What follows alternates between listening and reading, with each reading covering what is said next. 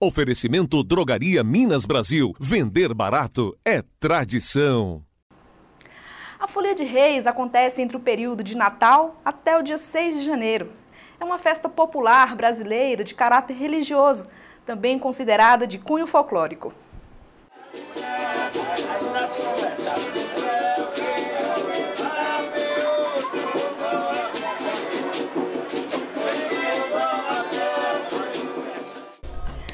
Folia de Reis do velho Carlinho de Cândido aconteceu em Olhos d'Água 2, no dia 6 de janeiro.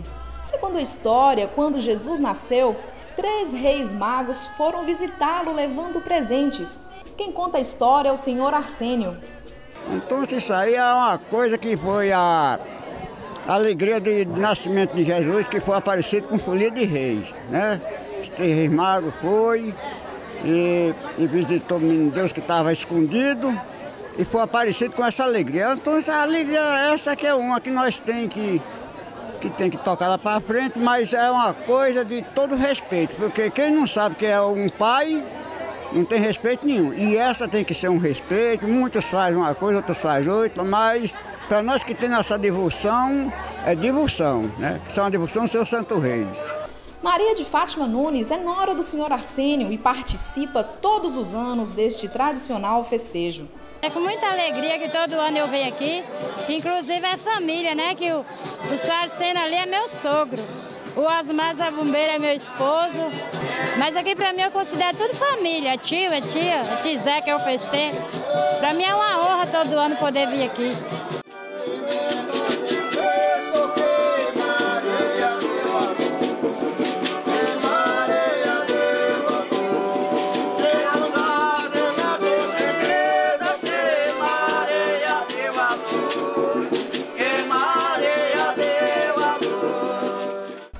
Jorge Gonçalves é neto do velho Carlinho de Cândido e segue a tradição da família. Oh, essa alegria da nossa hoje, ela já vem há muitos anos, que é vinha do meu avô, que é Carlinho de Cândido, que era o fundador dessa folia. E aí depois dele veio o meu pai, que ele faleceu agora uns três anos atrás.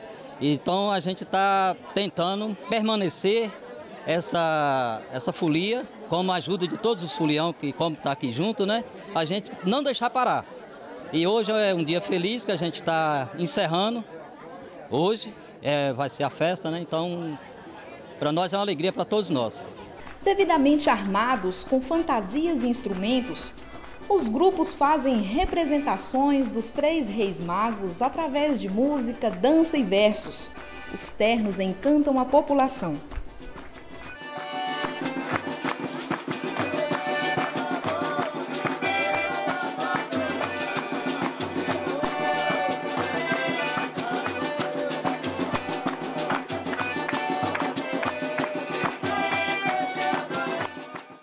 Após as cerimônias, o festeiro oferece um jantar aos participantes.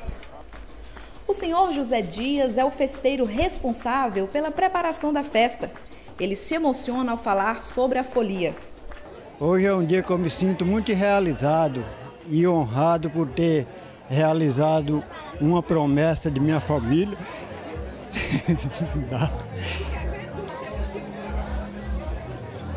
por tudo que eu já passei durante quatro anos para cá e hoje estou vivo, graças a Deus, e com saúde, não completa, mas 80% de saúde.